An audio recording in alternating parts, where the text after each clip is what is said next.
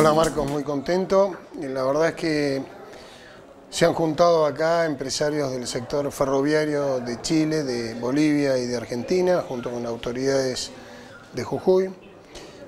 También vino gente de Salta. Y bueno, ha sido un encuentro muy productivo. El tren es un capítulo pendiente de nuestro, de nuestro país. La verdad que nosotros, pues fíjate que en 1936, hace 80 años, el tren transportó 40 millones de toneladas y el año pasado transportó 20.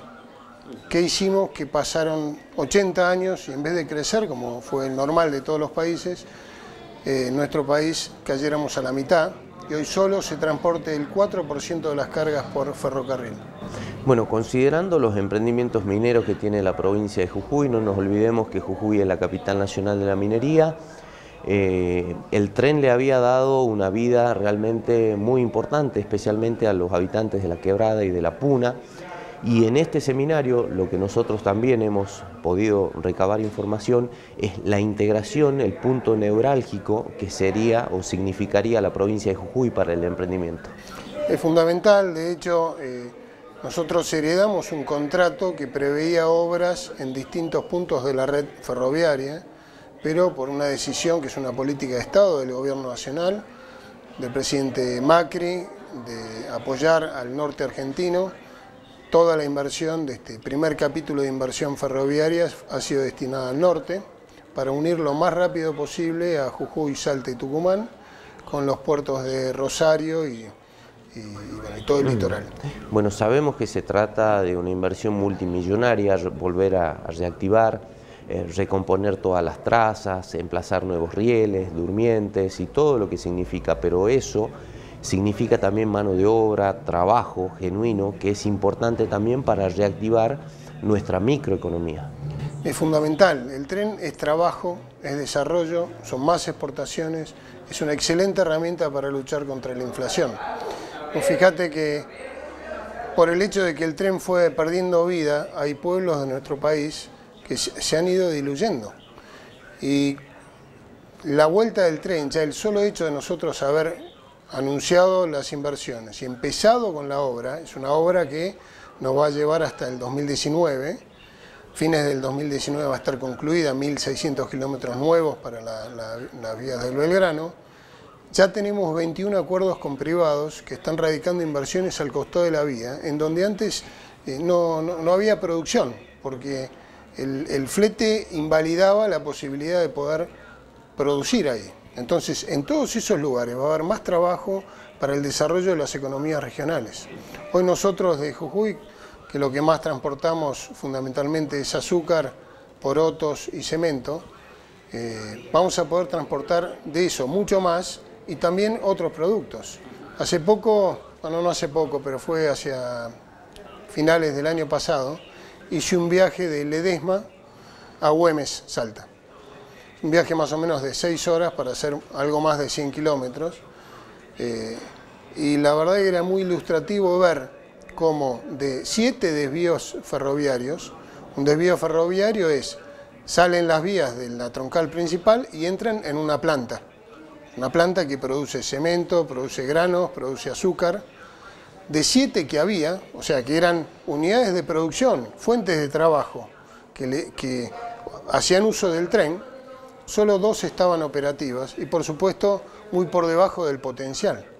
Y esto obedece a muchísimas décadas de olvido del tren, de falta de inversión, pero que hoy por suerte estamos volviendo a, realizar. Bueno, desde esta perspectiva integradora de poder recuperar parte de, de la producción genuina que tiene la provincia y también la región, ¿cómo está situado eh, dentro de lo que es el contexto geopolítico? Porque tenemos el, sur de Chile, el, sur de Bolivia, perdón, los mercados de, Asia, o sea, tenemos un potencial importante para poder constituirnos en un punto neurálgico si lo sabemos capitalizar. Muy importante.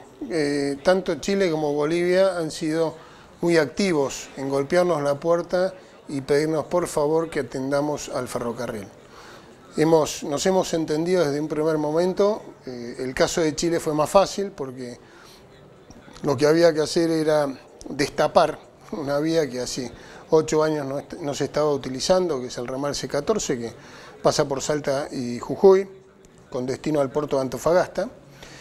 Y eh, bueno, la destapamos, hicimos un acuerdo, eh, convocamos también a los gremios, el sindicato de la fraternidad trabajó también con nosotros y creamos un, un acuerdo de trabajo en equipo, que no puede llamarse de otra manera, porque a partir de ahí empezamos a hacer un trabajo conjunto en lo comercial, visitando juntos a clientes, en lo operativo, con eh, conductores nuestros y de ellos, material rodante nuestro y de ellos, eh, para explotar de un modo conjunto, integrado, ese sector de vías, que es fundamental para esta parte de nuestro país y que de hecho hoy nos permite tener un tráfico regular de exportación de litio argentino que sale eh, por el puerto de Antofagasta y de Mejillones. Ezequiel, tenés la cámara en exclusiva del programa 30 denarios para darle un mensaje no solo al jujeño que en estos momentos está atento eh, respecto de las expectativas que ha generado este seminario internacional, sino también el resto de la región y también del país en el sentido que podemos llegar con las redes sociales. ¿Cuál sería el mensaje?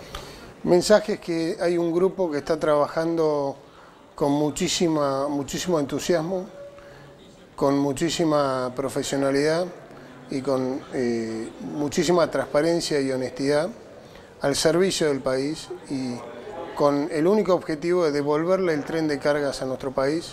Les aseguro que se lo vamos a devolver.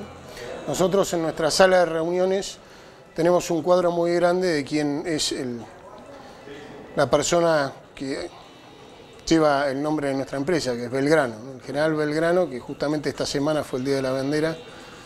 Lo tenemos ahí, la verdad yo siempre lo miro eh, y creo que eh, tenemos que vernos reflejados en los tres valores fundamentales que él supo encauzar, que fue una tremenda valentía, una enorme vocación de servicio por el país y una humildad eh, impresionante. Y esos son los tres valores con los cuales nosotros estamos haciendo el trabajo. Acá eh, necesitamos del tren porque el tren es trabajo y es desarrollo para nuestro país y lo vamos a volver a tener. Perfecto, muchísimas gracias. gracias.